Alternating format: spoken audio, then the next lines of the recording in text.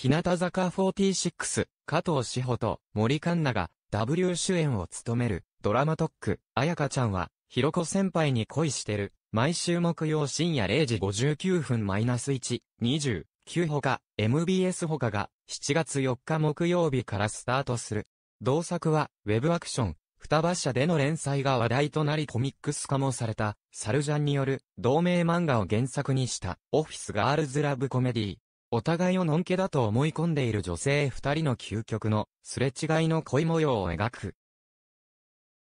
この度、ウェブザテレビジョンでは、持ち前の負けん気で、初恋街道を全速力で駆け抜ける、絶対に諦めない後輩、宇佐田彩香を演じる加藤と、過去のトラウマから、女好きであることを隠し、身を潜めて生きる営業部エースの、絶対に落とされない先輩、加納博子を演じる森にインタビューを実施。初主演の意気込みや互いの印象、役との共通点などを聞いた。少しでも笑顔になれて、元気になれるような作品にしたい。共に連続ドラマ初主演となりますが、意気込みをお聞かせください。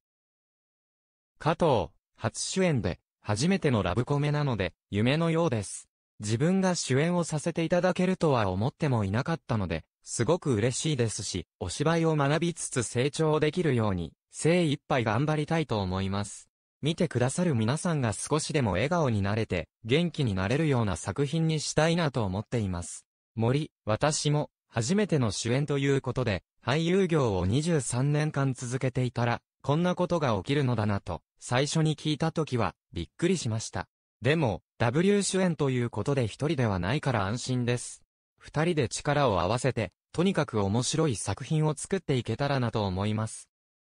また、ボーイズラブのコメディ作品は見たことがありましたが、ガールズラブのコメディ作品に私は出会ったことがなかったので、その点でも新しい風を吹かせられたらいいなと思います。初共演ということですが、お互いに共演すると聞いた時の率直な感想をお聞かせください。加藤、カンナさんは透明感とクールな印象が一番強かったです。私がこんな感じなので嫌われないように、失礼のないようにしっかりしなきゃと思いました。森、とても可愛らしい方だなと思っていましたし、確かに彩香ちゃんだなと感じたので、何の心配もなかったです。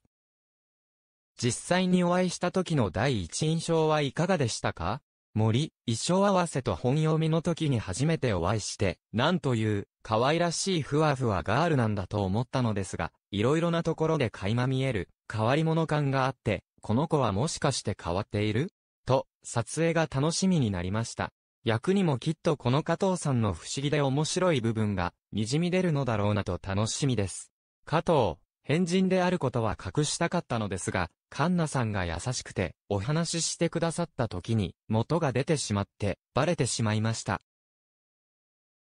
森、3秒ぐらいで、あ、変な人なんだなってかっこ笑い。加藤、かっこ笑い。カンナさんは、本読みで登場された時にまずそのスタイルの良さに驚きました。颯爽と風を切って現れてかっこいいと思ったのと、一言目に、しくよろと言っていただけた時には、すごく気さくで優しい方だなと思い、出会った瞬間からそのギャップにやられました。私が変なことを言った時にも、ん？何それとか、ちょっと静かにしてもらっていいですかと面白い対応をしてくださるので、カンナさんが一緒でよかったなと思っています。